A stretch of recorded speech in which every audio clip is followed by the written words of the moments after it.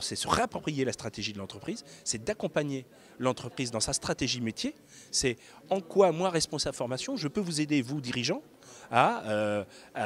atteindre votre business, votre business et donc à, vous accompagner dans le développement des collaborateurs premièrement. Deuxièmement, quelque chose qui est important, on l'a beaucoup vécu, beaucoup de responsables formation le vivent mal, euh, ils se sentent seuls, extrêmement seuls, parce qu'ils étaient derrière leurs chiffres, leur tableau de bord. Et, donc il y a un besoin de mieux communiquer. Alors on l'a appelé le marketing, la dimension marketing, mais c'est mieux communiquer, c'est faire savoir, faire savoir ce que l'on fait, faire savoir, et auprès des collaborateurs,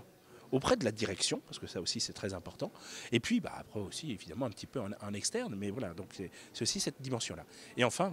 la troisième dimension, et le troisième thème, donc c'est effectivement clairement c'est euh, le digital, euh, c'est comment s'approprier, alors de façon intelligente, c'est pas dire effectivement comme on l'a entendu ce matin, euh, on l'a très bien entendu, c'est pas il faut absolument faire du digital parce que c'est à la mode, non, c'est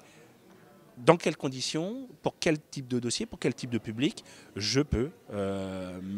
apporter du digital et qui apporte une plus-value, qui me permettent de faire des, économies euh, effectivement budgétaires. Voilà, c'est très clairement les trois dimensions stratégie, marketing, communication et digital.